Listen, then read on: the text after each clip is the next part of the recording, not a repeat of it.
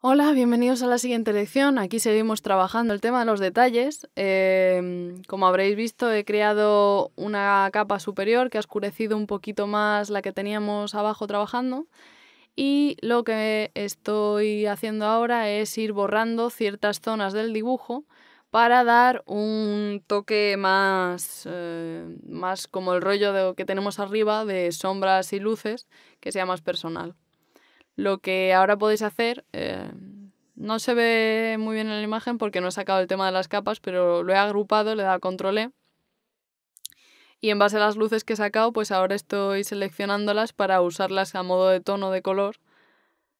Y bueno, ahora sí que acabo de crear otra capa, otra capa en modo multiplicar, como veis ahora, y eh, lo que estoy haciendo es dedicarme a borrar ciertas zonas que me van a permitir eh, dar ese aspecto de que está debajo de la sombra de, un arbusto, de, un árbol. En un principio puede parecer que son bastante irregulares, pero es lo que tenemos en la parte superior, así que bueno.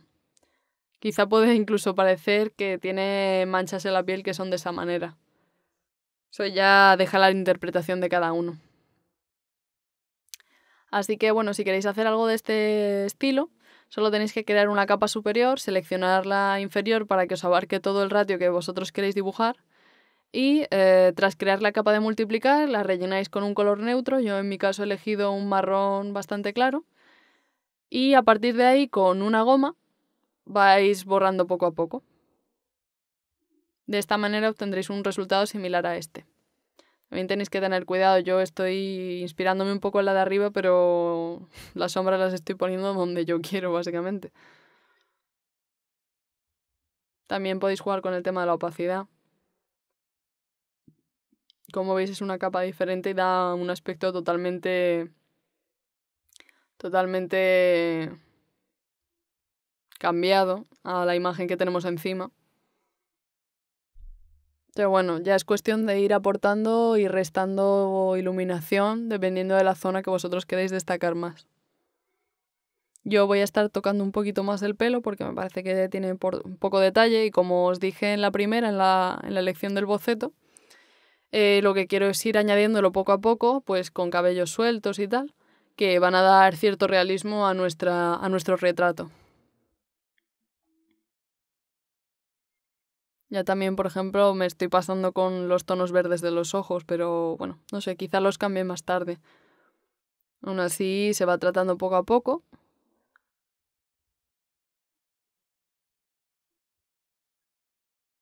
Y como veis, voy dando más sombras. Voy buscando tonos más claros que añadir. También Ahora estaba jugando un poco con los pinceles para saber qué tenía un poco dentro del menú de herramientas porque como siempre estoy usando los mismos, pues tampoco sé muy bien qué tengo, qué tengo por aquí. Pero bueno, voy a continuar trabajando con los que tenía antes porque ya tengo la seguridad de que van a ir bien.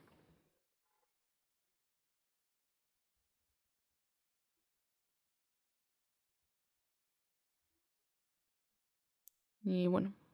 Em, lo bueno de la herramienta de pincel, en este caso, es que si quieres imitar un tono que tengas cerca, lo único que tienes que hacer es dar a Alt y se te activará un atajo que va a ser directamente el pincel, así que no vas a tener que ir mm, a la barra de herramientas para poder, para poder cambiar y tener que estar seleccionando primero el color, luego cambiando al pincel y tal. Os recomiendo muy encarecidamente que, que tratéis Photoshop bastante y que cuanto antes os aprendáis las herramientas que vais a, con las que vais a estar trabajando, antes os podréis aprender los atajos que tienen y esto va a agilizar muchísimo el trabajo que vosotros estáis teniendo.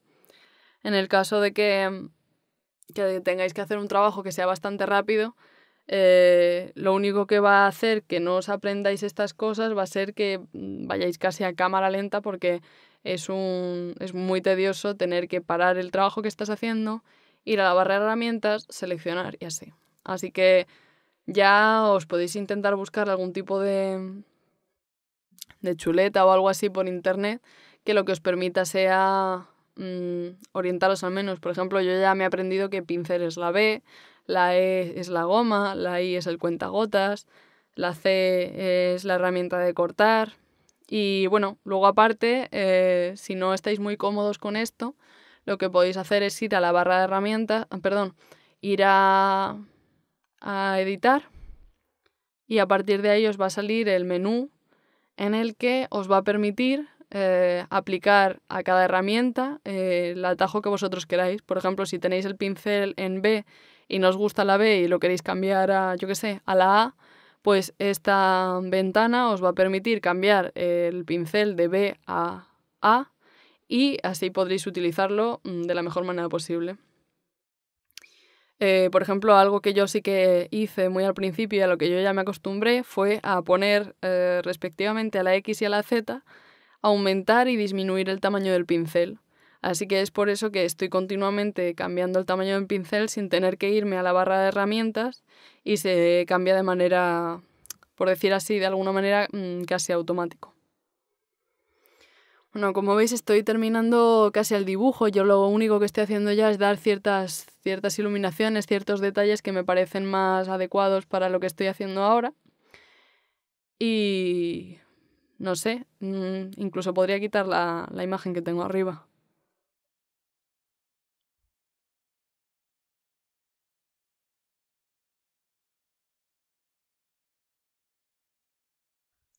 Lo que podéis hacer ya cuando tenéis casi todo estructurado es ir cambiando el color a uno más oscuro, quizá para darle una zona más profunda por detrás, como yo estoy haciendo ahora mismo con el pelo, añadir ciertos mechones más. Mm, poner cierta iluminación y oscuridad por la zona de la frente, mm, mover ciertas sombras de la mandíbula. Yo ahora mismo, ¿veis esta línea pequeña amarilla que estoy haciendo aquí? Es una luz secundaria que me he decidido inventar para aportar todavía más volumen a la ilustración final. Como si lo recordáis, la imagen original no tenía esta luz, pero yo la he decidido poner.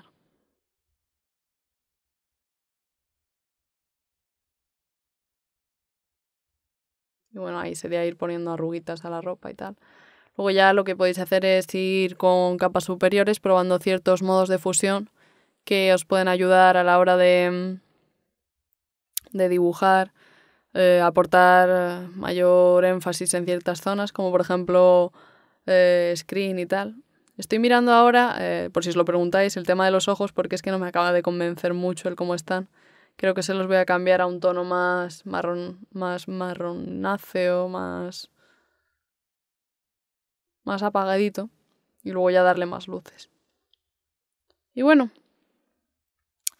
espero que os haya gustado este curso, que os haya servido de mucho, que hayáis aprendido también. Eh, lo único que estoy haciendo ahora ya es situar un poco la cabeza en un formato cuadrado, como os estaba diciendo, adaptarlo Em, y este sería el resultado final de nuestro proyecto. Eh, no tiene mucho más misterio. Nos vemos en próximos cursos. Y si os queda alguna duda, os dejo una lección extra en la que va a ser un dibujo rápido de lo que podríamos conseguir con esfuerzo. Hasta la próxima.